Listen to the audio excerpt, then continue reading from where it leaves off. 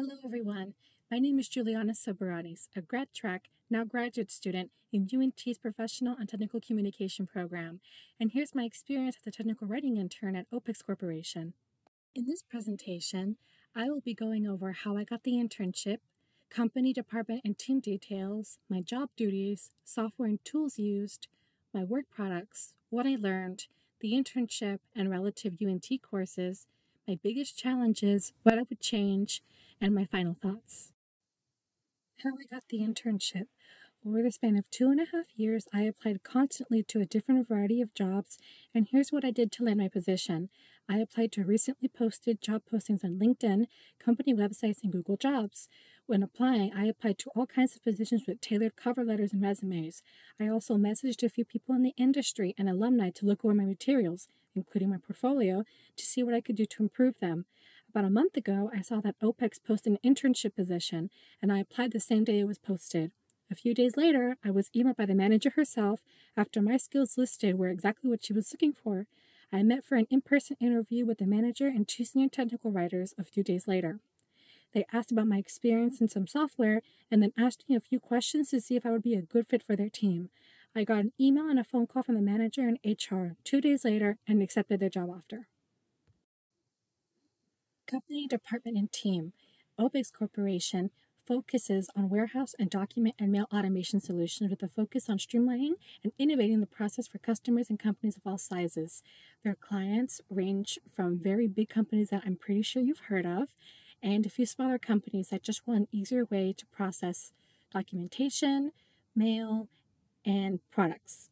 My position is in the warehouse automation division. There are two warehouse automation and document and mail automation. My division focuses more on e commerce fulfillment, reverse logistics, cross docking, and micro fulfillment.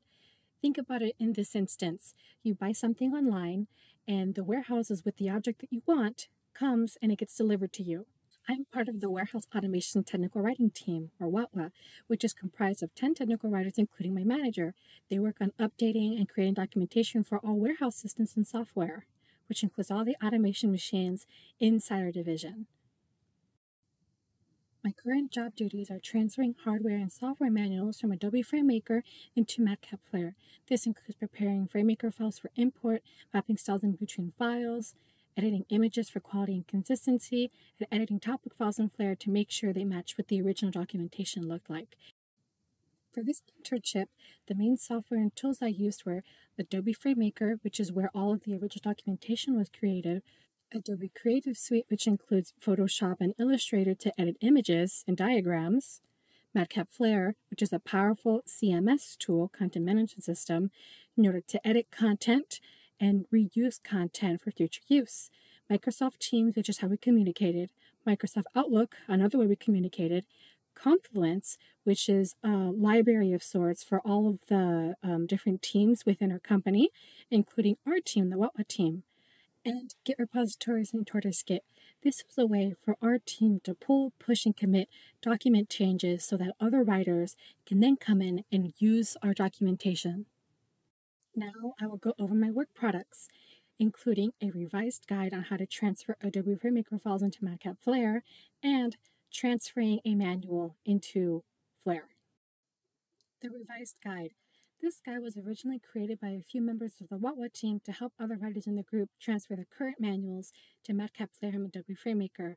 Ever since it was created, the team has come up with better ways and very specific style changes for this transfer. Going into the process, I added some information and edited some content that fit the tone and style of the original guide.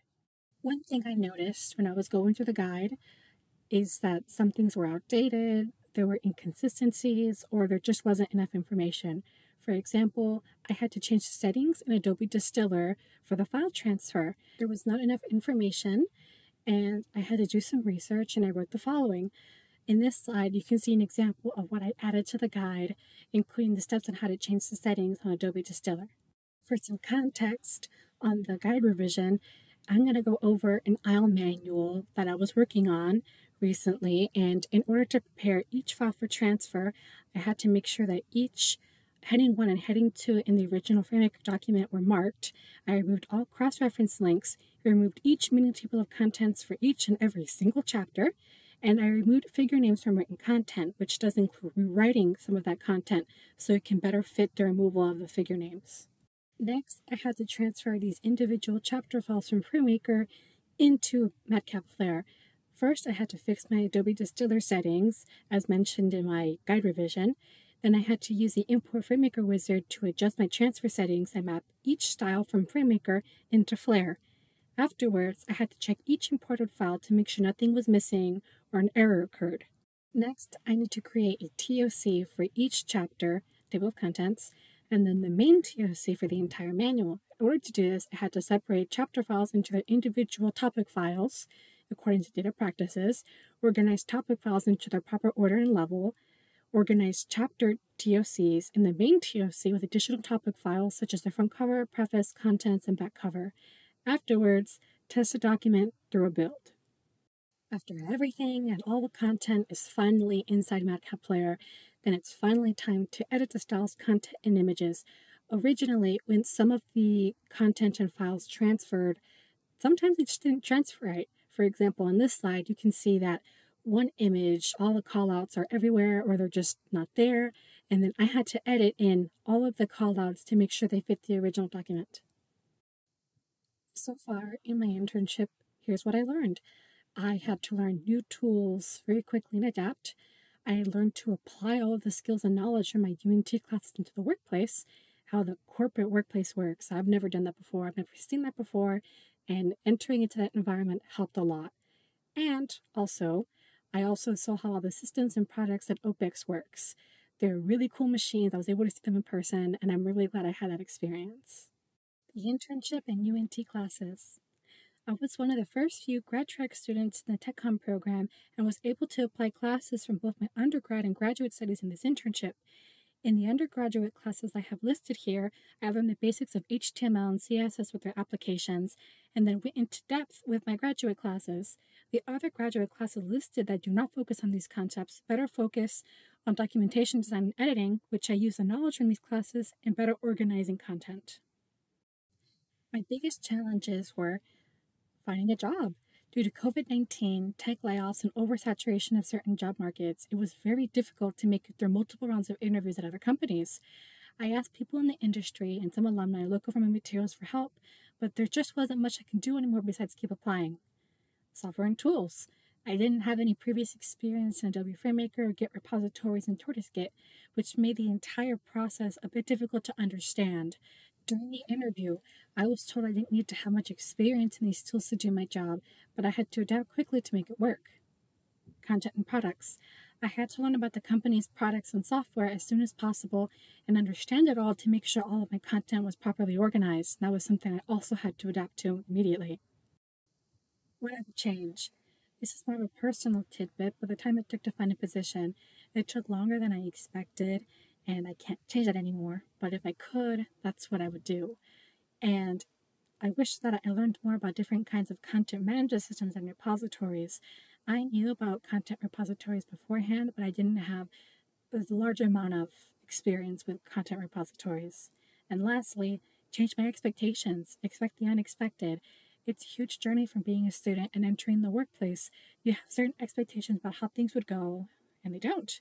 And that's okay. The whole point of this is that it's a learning process. My final thoughts. I'm grateful towards OPEX and the WATWA team for the opportunity to learn and grow as a technical communicator while also helping and supporting the corporation's goals. I also want to thank the UNT Technical Communication Program for teaching me the skills I need to succeed as a professional in the workplace. This is the last class that I need to graduate, and I'm very, very grateful that UNT has been with me every step of the way.